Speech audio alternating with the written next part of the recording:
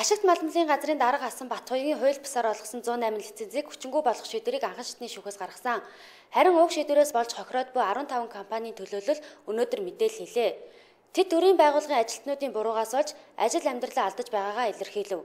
Учир нь эдгээр компани хайгуулын ажлын зардалд 17.4 тэрбум төгрөгийн зардал гаргаж кадастрын газраас 10 гаруй шат амжилгаар шалгуулж байж лицензээ авч хайгуулын ажлаа эхлүүлж байжээ. 2013 оны 1 сарын 30-ны өдөр э, нийслэлийн Баянгол дүүргийн шүүхээр шийдвэрлэгдсэн Ашиг маллын газрын дарга байсан Батхуйг нарт холбогдох дөрвөн хүнтэй холбогдох хэргийг хянан шийдвэрлсэн шүүхийн тогтоолоор нийтдээ ашигт малтмлын хайгуулын болон ашиглалтын 108 тусгай зөвшөөрөл олгосон ашигт малтмлын удирдах албан тушаалтнуудын шийдвэрийг нь хүчин болгосон байгаа.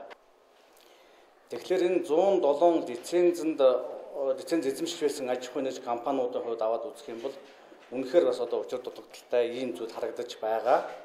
За энд юуны өмнө энэ тусгай зөвшөөрөл эзэмшиж байгаа аж ахуйн нэгжүүдийг мөрдөн байцаалтын шатанд болон шүүхийн шатанд ганц ч удаа дуудаж асуугаагүй. Ганц удаа дуудаж асуугаагүй.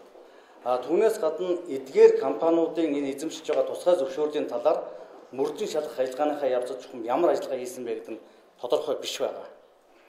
А хэрэг шийдвэрлэхэд гол ач холбогдолтой болсон энэ нь болохоор шинжээч нарын гаргасан дүгнэлт гэдэг ийм хоёр баримт бичиг байдаг. За энэ шинжээч нараа одоо томилсон үйл ажиллагаа болон гаргасан дүгнэлтийг аваад үзэхэд тодорхой хэмжээнд бас хууль зөрчсөн байж болзошгүй ийм нөхцөл байдлууд үүссэн байдаг. Мөн уг компаниуд лицензээ цуцсан талаар огт мэдээгүй байгаагаа дуулгав. Тусгай зөвшөөрлийг олгодог энэ үйл ажиллагаа маань өөрөө нарийн зохицуулагдсан байдаг хуулийн хүрээнд. Энэ тал тодорхой ярьсан сая. А түүнээс гадна энэ тусгай зөвшөөрлийг олгодог шат амжилга нь үндсэндээ бол одоо 10 хэдэн шат амжилгатай 15 шат амжилгатай байдаг.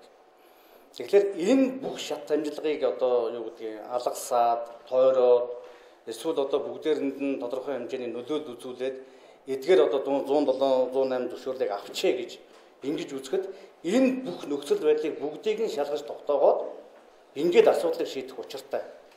А гэтэл яг энэ 108 тусгай зөвшөөрлийн тухайн асуудлыг нэг бүрстэн ингэж шалгаж тогтоолгүй нэлээд тийм одоо хөнгөн хумгай асуудлыг шийдчихсэн юм болов гэсэн нэг юм ойлголт явж байгаа нэг талаас.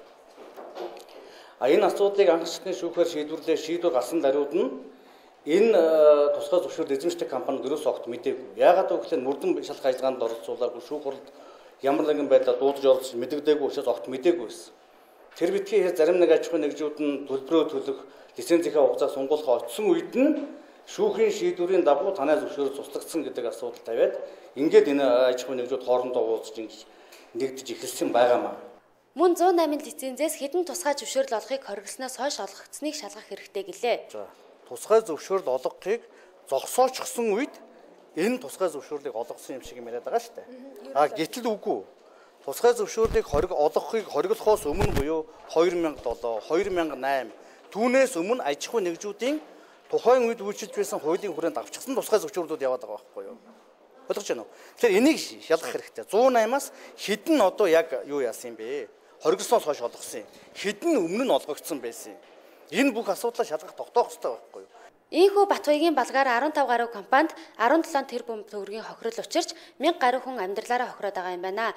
Тиймээс тэд ерөнхийлөгч Элбэг доржийг өөрсдөө нь бичлэн уулзахыг хүсэж лицензүүдийг хүчингү болохгүй гэдэгт итгэж байгаагаа илэрхийллээ.